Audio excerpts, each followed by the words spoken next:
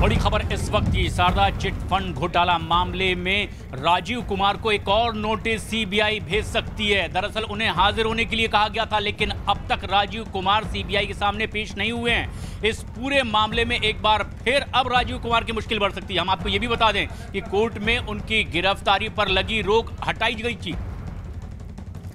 तो सीबीआई ने Sharda chit fund घोटाले मामले में आज एसआईटी के जाँच अधिकारी प्रभाकर नाग से पूछताछ भी की है और कोलकाता के पूर्व पुलिस कमिश्नर राजीव कुमार अब तक सीबीआई के सामने हाजिर नहीं हुए और इस कारण सीबीआई उन्हें एक और नोटिस भेजने की तैयारी में है। राजीव के हाजिर न होने पर सीबीआई की एक टीम वकीलों से भी सलाह ले रही है कि अगर ऐसा होता है तो क्या कर सकते क्या कदम उठाए जा सकते हैं। आशिका हमारे साथ इस वक्त जुड़ चुकी है। आशिका, वजह क्या बताई जा रही? क्यों अभी तक वो कोर्ट में हाजिर नहीं हुए?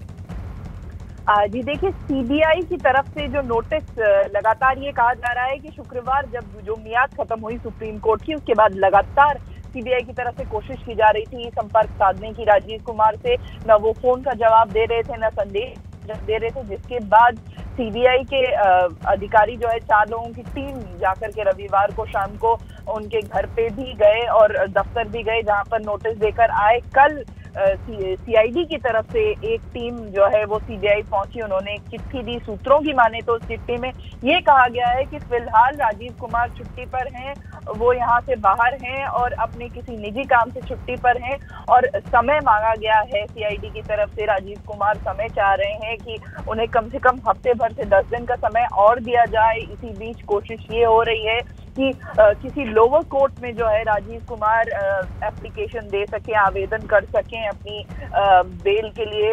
हालाँकि यहाँ पर कोलकाता में हाई कोर्ट में क्योंकि स्ट्राइक चल रही है लगातार कई दिनों से और इसी वजह से उनको यहाँ पर बेल मूव करने में दिक्कत आई। पिछले शुक्रवार की शाम बारासात कोर्ट में उन्होंने कोशिश की थी एक एप्लीकेशन मूव करने की। उनके वकीलों द्वारा एप्लीकेशन को कोर्ट ने खारिज कर दिया। ये कहते हुए कि ज़रूरी दस्तावेज़ जो हैं, वो फ़िलहाल वहाँ पर नहीं है। ये माना जा रहा है कि राजीव कुमार फ़िलहाल कलकत्ता में नहीं है, बाहर हैं और जो है, इसीलिए समय मांग रहे हैं। सीबीआई की तरफ़ से ये कहा जा रहा है कि समय वो देने को तैयार नहीं है।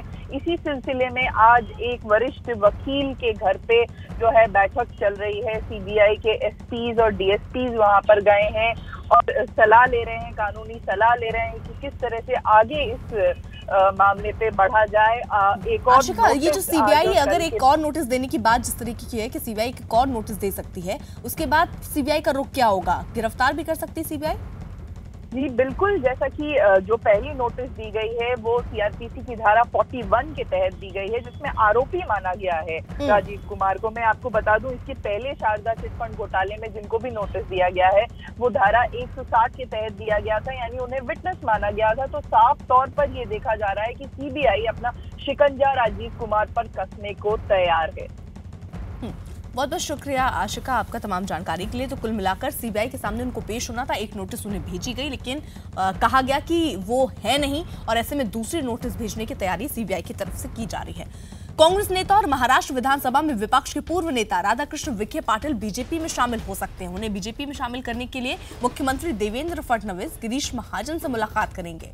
ये मुलाकात आज शाम हो सकती है और खबरों के मुताबिक राधा कृष्ण विखे पाटिल 4 जून को बीजेपी में शामिल हो सकते हैं। इससे तीन दिन पहले पाटिल ने अकोला में मुख्यमंत्री देवेंद्र फडणवीस से मुलाकात की, जिसके बाद ही उनके बीजेपी में शामिल होने की अटकलें तेज हो गई थी।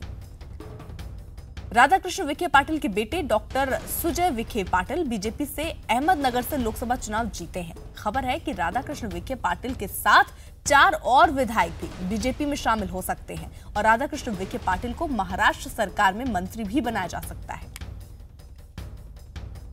ते आमचं कौटुंबिक आहे. ते काही ते काही माझे आज राजकीय मित्र नाहीच आहेत.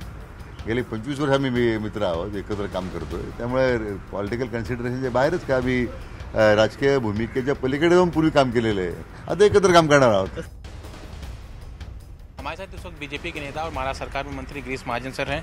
सर, विखे पाटिल सर से मुलाकात हुई। क्या मान लिया जाए कि बीजेपी में आ रहे हैं? नहीं, ये बात तो सही है कि विखे पाटिल साहब बीजेपी में आना चाहते हैं और लगभग ये तय हो चुका है। खाली उसका एक औपचारिकता बाकी है आने की। मुझे लगता है तीस तारीख को माननीय पंतप्रधान मोदी साहब का जब वो तो अब शिरोमणि हो जाएगा, शपथ विधि होगा।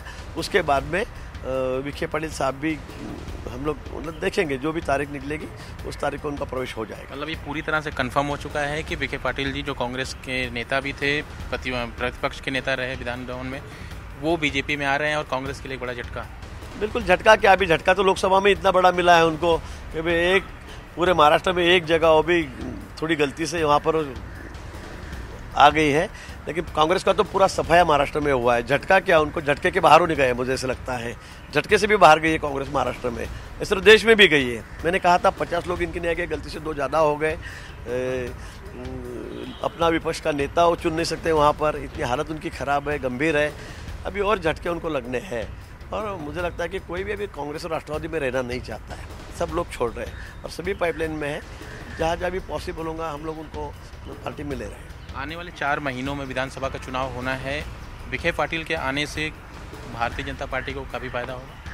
नहीं, मैंने कहा है, उनके आने से तो फ़ायदा हुआ ही है। वो तो लोकसभा के समय ही उन्होंने, उनके जो लड़के सुजय विखे पटेल, डॉक्टर, उन्होंने प्रवेश किया, उनको हमने टिकट दिया और अच्छे भारी वोटों से वो चुन के भी आ गए निश्चित एक बड़े अपने इलाके में अच्छे कदार नेता है, बड़े नेता है, एक अलग साम्राज्य उनका है, सहकार कोऑपरेटिव में है, एजुकेशन में है, पॉलिटिक्स में है, उनका बड़ा नाम है वहाँ पर। ज़रूर उनका फ़ायदा तो हमें अच्छा ही होगा।